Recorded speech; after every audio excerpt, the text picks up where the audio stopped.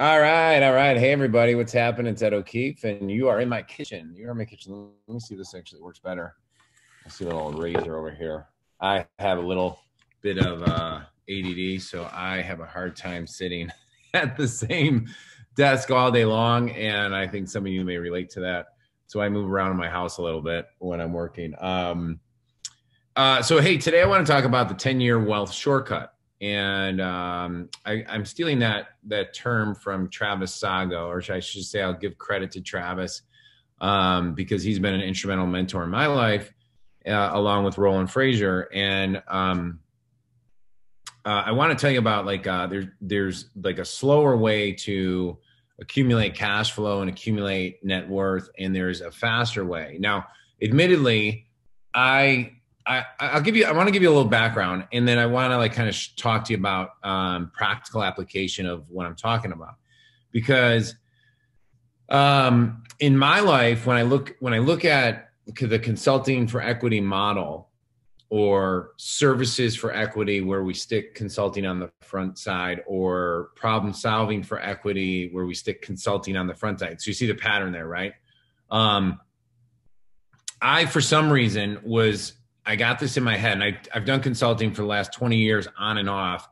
And um, well, let me back up. So everybody knows there's like there's like three three ways to really uh, or four ways to really like uh, get leverage, right? Other people's time, other people's money, and other people's assets. And that's one of the things we're going to talk about today, uh, because um, that's going to be a, a, massive one. So let's talk about other people's time, right? So you have time leverage, people working for you, uh, reps on the field selling for you. Um, my buddy Perry Belcher runs a, a VA. Uh, one of his companies is a VA virtual assistant uh, uh, business where so he's got staffing that that is highly leveraged for companies.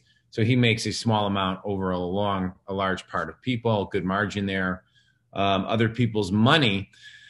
And that's where you you might look at like raising money for a business raising money or uh, using the bank's money for real estate. Uh, to use a few examples um, maybe you're a fund manager and you're making a percentage of of investing other people's money. So these are all relevant these are all relevant things but they're all forms of leverage. Like how do you get if i get a million dollars of somebody else's money and i'm able to put it somewhere um, and i get a percentage of that that other person's money is working for me. You get the concept. It's just leverage, right?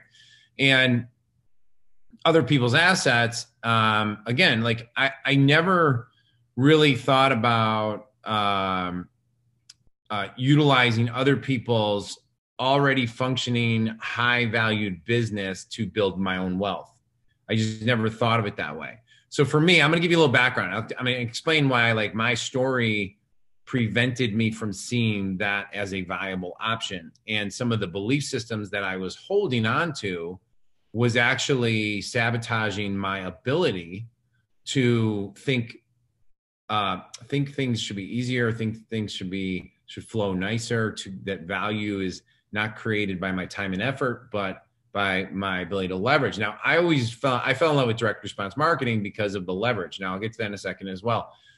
Um, but I always felt like that I had to have a massive amount of input into that leverage in order to justify my output, which is financial gain. And so um, it's something that really, I mean, I'm 46 now. Um, it's taken me a long time to figure figure this out, and I just want to encourage everybody in this group, especially with the consulting for equity. So, so this video is is being designed specifically for people that uh, have raised their hand to learn more about consulting for equity. You either you either jumped on the webinar for consulting for equity with myself, Roland, Deanna Rogers, and Adam uh, Lyons, um, and you're in the Facebook group, or you're watching this on YouTube, or you're listening to this on a podcast. So I'll multi-purpose this uh, video. So for some people that are new to this or they're listening on a podcast, like what is that talking about? So Roland Frasier and I have a program that he designed. It was his. It was his child called Consulting for Equity and it was based on his stumbling into stopping to give free advice every time someone asked for it when he'd be at seminars um, and masterminds predominantly. People always wanted to pick his brain or they wanted to uh, utilize God minutes and and and for some of you just bear with me for like 30 seconds to kind of give the backstory because it's relevant. If you've heard it before is um you know, Roland is really, a, he's one of the most genuine guys I know. Someone asked me yesterday, how long have you known Roland? I've known him literally for, I think, 12 or 13 years. I was there at the beginning of War Room, which was Perry Belcher and Ryan Deiss's uh, mastermind, which was at the beginning of Digital Marketer, which is now, um, they used to run uh, Traffic and Conversion Summit. And when I was around, this is back in the day, there'd be like 12 to 14 people. It'd be like me, Vinnie Fisher, Jeff Usner, uh, a few other troublemakers. Kent Clothier. Kent's great. He's, he's not a troublemaker. Trust me. He's not one of the troublemakers.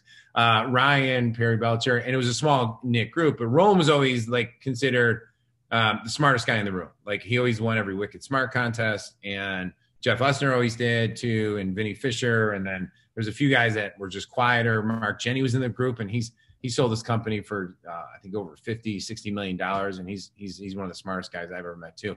So, um, I'm feeling really, I'm feeling really inadequate, as you can uh, imagine, uh, sharing these stories now, uh, realizing how smart all my friends were. Um, but um, why was I sharing that backstory? so, so back then, so that's how long I've known Roland, right? And so a lot of this stuff, um, Roland always had a unique perspective because of his uh, legal background, uh, but also with a direct response uh, background because he was in direct mail. He was worked on behind the scenes of um, uh, infomercials, and um, so we we were always friendly, and we always he always was very supportive of everything I was doing.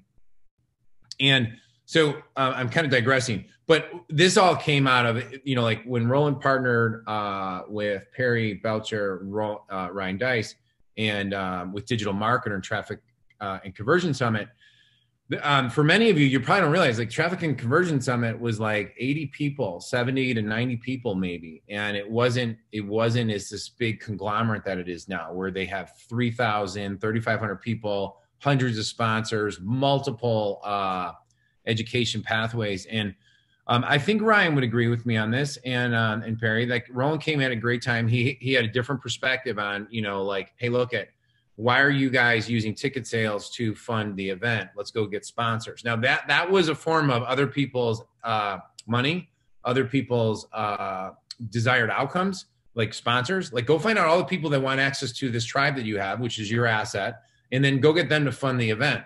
And if you can flip it to where i think the first year they had about a hundred thousand in um, sponsorships like before roland got there and then the next year it was over it was over seven figures and every year since then um, it, it's it's just it's just it's grown into this massive thing that they ended up uh, exiting and and um, uh, I think a few years ago, and they still have controlling. Um, they Roland uh, maintained control over his intellectual property with Ryan and Perry of War Room. Um, they still have vested interest in our things, and I'll let him tell more of the in depth on the details on that.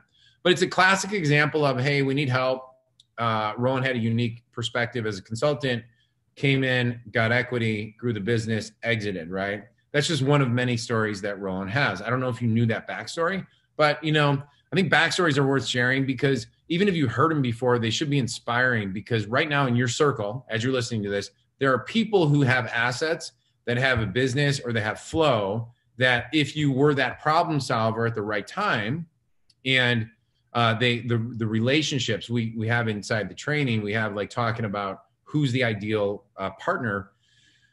Um and and and then part of it is objective like is it profitable? Does it have cash flow? Does it have recurring revenue? Is it in an area where you have expertise and stuff like that? Like that's kind of like the objective perspective. But then there's the subjective. Do i like these guys? Do we can we disagree but still problem solve together? Um uh, you know, there's a lot of subjective. Subjective is very, very important. Is my, is my gut telling me what's right? Did did I have a couple mentors look at this deal? This is a huge one, by the way. And I've made more mistakes. Uh, I'll, I'll share some mistakes. I don't know if I'll get to all of them today because I think you need like eight hours to listen to all my mistakes. Uh, but um, you know, d- did I have a mentor review or look over my shoulder at the deal in order to just give me the nod, like, yeah, you're thinking accurately, or ask this question? Okay. So even on my own partnerships and stuff, I definitely have Roland look over my shoulder. I definitely reach out to Vinnie Fisher to look at for me. There is no question that the third party mentor to look over your shoulder is is um it, it, it allows you to move forward faster with confidence and allows you to, to fix your blind spots and remove the emotional uh, biases that you're bringing into the deal. Very, very important on all those factors. Okay. It's not why I'm shooting this video though. I, I go off on tangents. Um, that's why I have my coffee. And uh, uh, it's perfect. So anyhow, Roland grew this up, and and uh, War Room is now uh, a mastermind that has, I think, over 100 people in it. You have Scalable, you have the Epic uh, live events. And at these events, you know, as many of you have probably found, Roland Frasier is one of everyone's favorites on stage. And when you grow to that size of a of a of a uh, event where you have 3,000 people, there's a lot of things going on. One is you have a lot of demands being on you just purely because your objective is to make sure that everybody who's there is having a great experience. Uh, Ryan Deiss, Richard, I mean, the whole team at Digital Marketer, uh, Deanna and her team are just phenomenal at constant. I mean, those guys are hustling the whole time. So you have those demands on you. You have your speaker demands on you. You have uh, people like Martha Stewart, um, Lemonis, all these people coming in. So these are like the demands being put on Roland's brain, all in those in those time frames.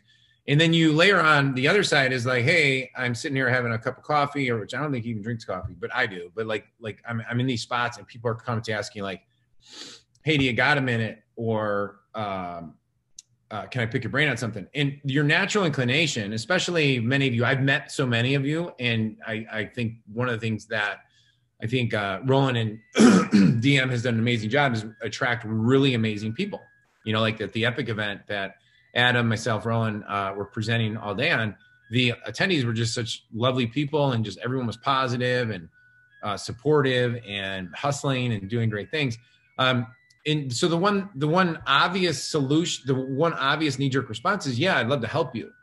And what happens though is that and this is worth writing down free advice is is is is the easiest advice to not act upon. It's just the easiest advice to not act upon. Um because and everyone knows that and especially if you if like so the like, this is worth writing down too, guys. Like, so I I have a uh, uh, a client that I've partnered with on RevShare on the back end of his lead generation business, and um, uh, it's in the survival tactical space, and I help get him leads uh, through a third party relationship. Again, other people's assets, moving moving assets to asset value creation, and now we're talking about adding more continuity on the back end of his business and the most likely people to jump into the next membership are people who've already said yes to the first membership. It's kind of counterintuitive. It's like the most likely person to uh, call up their plumber next year is somebody who used this a plumber a year ago. You know, I'm making this stuff up, but it's like people that naturally like if if you're in the uh, if you're uh, in the uh, lawn care business, I'm looking out of my backyard right now, and we didn't get our leaves picked up at the end. We got to get it done now. um, but the easiest person to sell lawn care to is somebody that every single year they re-up and they they they are um, uh, they like having someone else do their lawn. Somebody who like my wife fired all of our lawn care services because she wanted our kids to do it. Um, if they talk to me 100% we are getting them back on schedule. If they talk to my wife my wife's like no my kids are going to learn how to do this. You know i have seven of them. They should do it. And uh, so i'm looking out. I see piles of leaves. The kids didn't do it yet guys. This is you know, uh, parenting 101. Uh, it's 10 o'clock. And so anyhow, um, so, so, so the key point there is like a buyer's a buyer's a buyer and you go after the buyers, right? So, um, anyhow, I don't even know what I was talking about right there. So I kind of digress. Um, okay. So, oh yeah. So, so if people are, if you give free advice and they're not, they're least to act upon it, but somebody who exchanges money for your expertise and time. And this is where the mindset part that you got to lock into. Yesterday on the training that we posted into the consulting for equity model module uh, on the 15 day sprint as a bonus to get your first client, consulting for equity client, um, I talked about Robert Ringer. I showed the book Winning Through Intimidation. Um, uh, Ringer, that book was written in 70, 71, 72. But he talked about how that you know the, the biggest mindset that everybody has in deals and in selling and in business is you're looking around for permission okay? You're just looking around for permission. You're looking for somebody to say yeah you can charge that amount for your consulting day. You're looking for somebody to give you permission that you are inte- eh, that your intellectual capital, your wisdom experience is now at a place where um, uh, you you you are credentialized. You have the authority. These are all terms that are are like indoctrinated in us, by the way, from traditional traditional schooling, uh, where we get degrees, where we get certifications, and we think in those terms. Listen, you want to be able to uh, uh, get the result and create value for a client. That is that is the assumption going into this. But here's the deal. Your background and the certifications that you got to be able to, there's no correlation between certifications or, um, uh, you know, uh, accumulated wisdom and your ability to get them result. Because, because here's the distinction.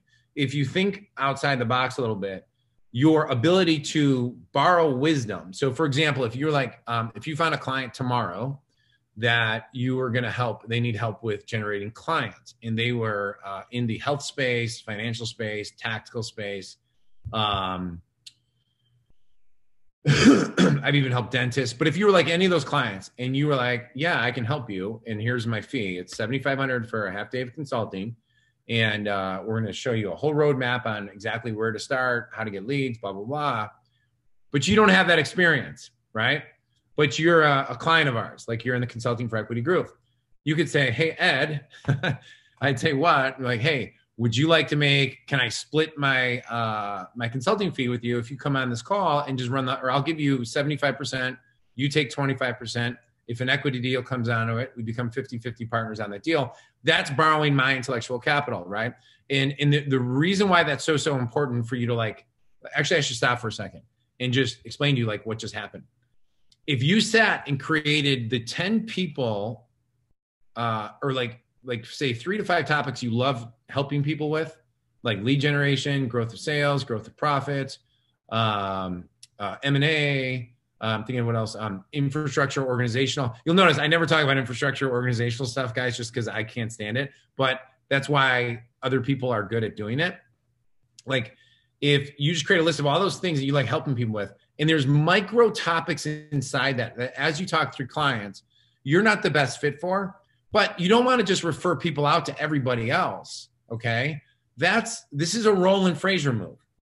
Like you could refer them out to the agency, you could refer them out to this. Well, guess what's going to happen? They're going to get together, they're going to go make a lot of money together, but you were the network bridge.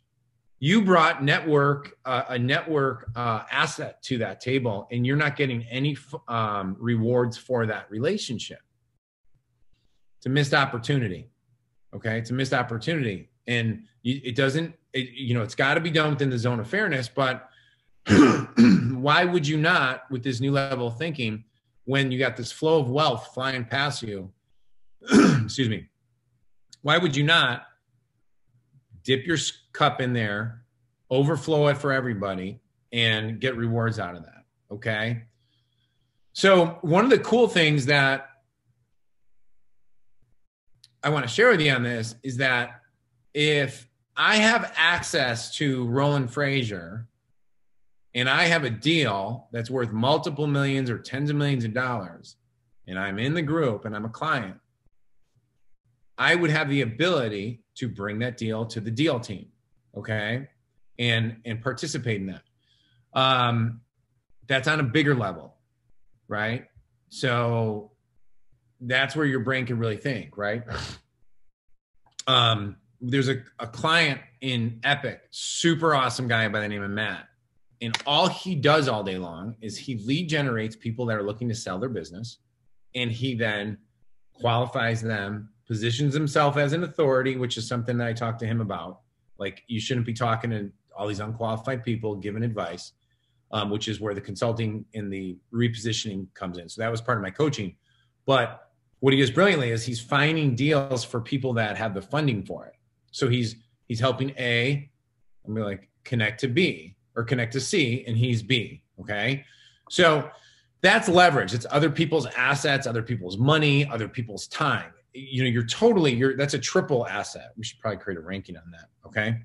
Um, so why am I sharing this? Okay. So, so I want to tell you, I want to tell you two quick stories. This video is going longer than I had expected. So, but I want to talk to you about like, I grew up in a blue collar family. Uh, my dad was was your your type of guy, electrician, uh, who when you asked Jack O'Keefe, um, like how work's going, he would say, like we have this tradition, like big family, thirteen kids, eight brothers, four sisters, and when we got our report cards, I don't even I don't even think my dad looked at our report cards. He would take us immediately to Fox's, which is the like the local uh, restaurant, pizza, you know, uh, bar, and um, he would just me and my siblings would sit at the table. He'd order us fries, pizza, cokes, whatever, and he'd be he'd sit up on the on the stoop and he'd be so happy. He'd be like, he's like, yeah, they all got the report cards, and uh, I don't think one person asked how they did. I think he would just say, oh, they did amazing, and and I think at the time. Um, we were like C, like all C students, B minus students. Like our parents were just trying to get us through. But but there was a very uh, and then uh, out of my out of my brothers, the all of them either went into the the the electrical union or the engineers union. Now here's why I'm sharing all this stuff. Right, there was a high emphasis on if you put the hard work in, the world's going to pop it out for you. Effort, time, effort, time, economy. And so when I started learning direct response marketing i'm kind of skipping some steps here but just for speed and sake um, and and i and i when i learned copywriting i i i realized that copywriting plus direct response for me at the time was the path towards uh, making money it and, I, and it clicked and i was like i'm just going to master this i don't know if you ever had something like like hey if i'm just going to master this one process but but at the age of i think 26 25 26 maybe even 24 I was all in on that because I was tired of being broke. And um, but that's a very effort, hard work, effort driven thing with a high leverage, high leverage potential. Okay. Now, here's why I share that is every business I've started, and I'll do this on a different video. Every business I've started, I've usually started from scratch, self-funded, and time and effort with the idea of leverage to get it up, running, and going. And as many of you know, the old phrase of it, 80% of the gasoline is used on, on the, on the uh, takeoff for a, an airplane. Well, 80% to 90% of your cash to, to get it started, your best thinking, because the hardest part, if you ever read Michael Masterson's book, um, Zero to 100 Million, he talks a lot about zero to a, zero to a million Usually you're not making any money yet. You're working your butt. That's not totally true, by the way, for consulting. So one consulting and high ticket coaching, you could be cash flowing within, you know, 30, 60 days because of the margin, but you are trading time for dollars. Okay. That's not always a bad thing if, if you don't have these other components. but it, in, a, in a product business, you know, it's your optimum sales structure, your upsells, and then lifetime value. And with the expensiveness of media channels now today, you have to have what Dan Kennedy would call slack adjusters, where you could sell a high ticket item where margin pours into your business. High ticket coaching, consulting, uh, um, big big ticket offers. We did this when in supplements where we'd sell six bottles out of the gate as an upsell, and a small percentage take that, but that small percentage pays for the other eighty percent. You know um, and we, obviously, we can go in depth on all these topics because they're just great topics. But um, the problem is here's what's worth writing down. The problem is is that if 80% of the effort is used there and the money and all the risk is there and you are doing it alone on yourself, then what if it doesn't work? What if it doesn't work? And so for me, I had a couple what I would call doubles or triples. Home runs, I would consider you exit, you grew it fast, you scale, you exit, and you get uh, a, nice chunk of cash that you're sitting on, or you have a business that's just perpet, uh, perpetually pushing out cash, and you never have to worry about money again. So, so um, so I had a couple doubles and triples, and so the inaccurate thinking. I had dogs dogs out of the house real quick. The inaccurate thinking part was the inaccurate thinking part was that well, hey, I could just do this. I could do this at will. Like I am so good at copywriting and offer structure and all the elements of launching a business that I could just keep popping these things out. But then, then something happened. You want to know what happened? Um, a couple things. There's a lawsuit in one of the companies in the supplement business, so that um, that's a poor staff hire, chief technology officer, totally different topic. But then the and I learned so much. By the way, you should always have mentors uh, your your your highest level employees that you bring on, if you're going to abdicate and give them massive responsibilities, you definitely need to bring in outside mentors to help uh, uh, interview them. Because in this this chief technology officer, if I would have had one or two of my buddies, like if I would have had Vinnie Fisher just interview the guy um, before agreeing to bring him on and give him so much responsibility, um, that business would have never had a, a tech like blow up. It blew up on me. He got us into a lawsuit with a billion dollar company by signing contracts. It was just one of those like, but I, it's my fault. It's all my fault because because I because I didn't do these basic things that could have prevented it. Um, and then when I launched another company, which is a food company, uh, I made mistakes there as well on the launch. So the launch here's the point: the launch side is the most risky, hardest part. Okay, why do I share all that? Because the good news is, is that this is what led me, even with those a few successes there. I had this epiphany where I was like, something is something is I'm doing something wrong. Like, why am I always the one taking all the risk, putting all the effort, my unique insight into something, and if it doesn't work, you know, like wh- why are these other people flowing and easy? So I, I had two conversations. I'm going to tell you about them, right? So these were these were my leading conversations. Like like I'm I, I was like sitting there by myself, being like, I've invested all the time, put the 20 something years of in the trenches in place. I could easily be doing consulting, but I didn't want to do just consulting. Like this was very important for you to understand. I, I like being on the upside of things. I'm an entrepreneur at heart, probably like you, where you want to be, hey, because there's nothing worse than like when you you come in, you get paid 10 grand and you open up a multi-million dollar profit center inside a company and two months go by they paid you 10 grand uh, and, for a few months of consulting and you're you're like man i i could have i could have i could have done this differently because they didn't see any of these opportunities so I had two conversations. One of them was Roland Frasier, which I'll get to in a second, and one was with Travis Sago. And Travis Sago was like, Ed, I've done I've done everything that you're doing. He's like, um, the one thing that I stopped doing is I stopped doing anything that was on the front end marketing. I just only work with people's customer databases. And I was like, holy crap. That is that is I'm like, that's insanely I was like, and we talked it was a longer conversation. Like we talked about affiliate marketing. We talked about lead generation. Because i have passions on all those topics like i love i love learning and i love studying. I love running seminars. I love learning uh, how media works. I love all that stuff.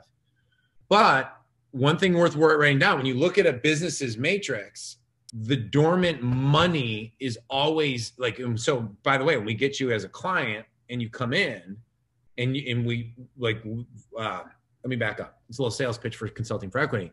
So one of the key like little magic tricks when you are with a client is they're always going to want to talk about the new shiny idea because their staff gets stressed out when they talk. Everyone gets stressed out. And they always want to talk about the new shiny idea. But if somebody's already generated customers and they got a past database of customers, I don't have I don't have my thing charged in. So if they don't have if they then they're the fastest, easiest path to driving net revenue and net margin to their business is always by getting them to do a campaign to their or, or that's what we do for by the way that's what we do like one of one of my businesses is we take high ticket we take low ticket buyers sell them high ticket packages and we have a unique process that nobody does and Travis Sago is a guy who helped me with this process, and um, it, it, just works. It works. You're, you're, experiencing some of it, by the way. Um, and but the thing is, is nobody wants to look at their existing customers. And we generated 80, 80 extra leads yesterday from a list of people that most people would look at and say they're not interested anymore. Well, no, they're raising their hand. Could be another six figures in the next week just from that list. With my other buddy, we we're identifying a uh, by by identifying two time buyers. So they bought this, they bought the next thing. Boom, they should get a trigger to another offer. We can add a whole nother profit center by by identifying that because he's not doing it yet. This is in the tactical business. Like, oh, everyone thinks linearly, guys. Just so you know, everyone thinks linear, like A through Z. When offer matrix, offer an offer matrix should be behaviorally uh, communicated with. When people, this is worth writing down. This will make this will pay for everything you ever do with me. When people are in heat, there's a window, whether it's three days, seven, 15, 30 days, that they should get as many offers. If they start buying, they buy again. Boom, you should send them the best offer, highest profit offer, highest profit offer, and just keep going because they're in heat. You know, golfers, when they start thinking that they got to improve their game by buying buying equipment, you should be selling them everything you could possibly sell them. Um, so that was Travis kind of opened me up to it, and I was like, "Well, this is too easy. Like, why are you mean we're just going to mail? We're going to do direct mail to existing customers, and we're going to sell them stuff." And that's what we do. And that's one of the reasons why Roland and I are working together because I did that for him with one of their programs. And we started talking, and, and he's like, Do you think this would work for this and that? And I was like, Yeah, let me just drive it out. So I just do it for you, you know. Um, that's number number one. Number two. Oh, and then with Roland. So we started talking, and Roland and I have been friends for a long time. So then Roland starts telling me, he's like, Ed, I got to tell you about what I've been doing this consulting thing. It's it's just it's fun it's easy because it fits within his skill sets and it's just profitable as all get out. I was like, well, what are you talking about? And that's where he started telling me, he's like, we, you know, he's like, I started just charging for my time.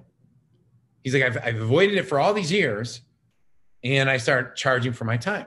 And he said, here's the craziest thing. Every deal that I end up in, in where like I either become partners, I get equity, or we we we create we get immediate cash flow uh, off of it uh, comes from already getting paid. And I was like, all right, so cool. Like I didn't, I didn't get this at first, guys. I did not get this at first. And he, and it took me to the, like the third time he told me that I was like, oh, so you're growing your net worth, but you're, you just added a profit center. It's a seven figure profit center through consulting off situations where you used to just get free advice. And he was like, yeah. Okay. Now, why is this so important? Why is it so important? Okay. So if I back up and you and I are talking, I said, look, do you see what's happening? Most of us are trained, we're just trained, and I used my example systematically that the busier you are, right? The busier are doing stuff, the more output is going to come into your life right remember like my old my old my old uh, story of growing up in a blue collar family, uh, which I love, by the way. I think every my so much of my mindset comes from that. The, the hang up comes from though it, it's it's a time for money trap that um, that is really tough to just escape out of until you unless you're going to add leverage into that. Okay. And so I had to work and process out of that. Now, the consulting for equity model is identify your level 10 dream client. So this is your job now. Who do I want to pay me for solving problems that I'm uniquely qualified to solve their problem, which we can help you on the uniquely qualified part. But I have a feeling if you're watching this, there's already things that you're drawn to. Like if you love copywriting, great. But but what if you had a a, a fee, whether it's 2000, 5000 upfront to do a proper recommended action plan based on your consulting, okay? Instead of just giving away free stuff and doing stuff for free. Okay? Get paid 5 grand, get paid 10 grand, then get paid more for writing the copy, then get paid royalties on the back end. And then you also structure it to be like, well, here's the deal. Do you want me to own this side for you? They're like, yeah, okay, cool. This is what that would look like then. And there's the royalties and, and equity. So you're getting paid immediately you get paid ongoingly, and then you get paid infinity, right? As the business grows. So it's a reframe. Okay. It's total reframe on how you look at where you inject yourself. But let, let me explain this. If you are able to to jump jump in the flow of businesses that are already pushing momentum. They've already put the time in. They're already driving customers. They've already put the money in, right? Other people's time, other people's money, other people's assets. They already have customers. They already have um, offers. They already have all these things. And you may jump in and just provide a network. You may just jump in and provide a solution through a service. You may just jump in and provide mentorship, wisdom, and guidance. Okay. That's where you may come in and, and, it depends on yourself and it depends on them right in that level 10 ideal dream client so that's what i want to challenge you with today and and so you know um if if this comes if this is like hey Ed, I, I really want to be a part i'd love to get i'd love to learn more about consulting for equity. I want to be a part of the mentorship that you and roland um, have going on. I want to continue to learn and master this process. Then simply email me at ed at consultingforequity.io put in the subject line CFE. Um, or uh, we don't have a text message yet, but I want, uh, I do, but I, I want to, we're getting a new number on it. Or you, if you, this is on Facebook, you can private message me, or you can simply put in the comments CFE, and then one of us will get back to you, and then we'll get you all the details on it. So obviously, the reason why we put all this education on here is because this is really a mental shift that opens up doorways. So in the past, where whenever there was like an opportunity, I would dive in full for a board, trying to prove how good I am at executing.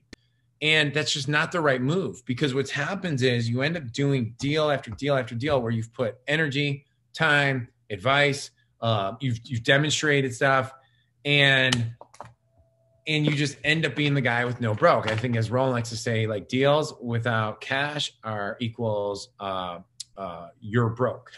Deals without cash is equals you're broke. So the shortcut, the shortcut, the 10 year wealth shortcut is you look at other people's assets, you look at other people's flow, you look at other people's, um, you know, like their, their infrastructure, their time, it's already happening.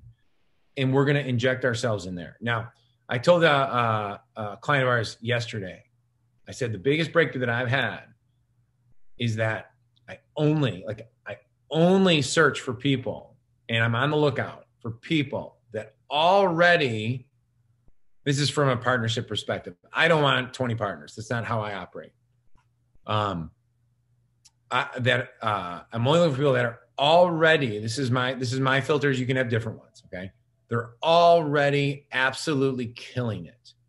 They're absolutely killing it, or they're right there, and for me to create massive value is simply adding like a small little uh, a small little shift, a small little uh, uh, maybe a, maybe a, like for for back end high ticket coaching, it's it's our simple little sales process that we've designed that works like magic.